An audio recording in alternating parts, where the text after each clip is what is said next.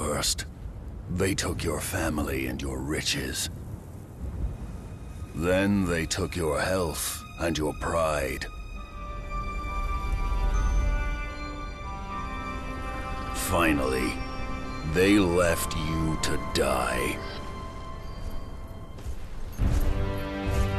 What will you do, exile, when there is nothing left but to live or die?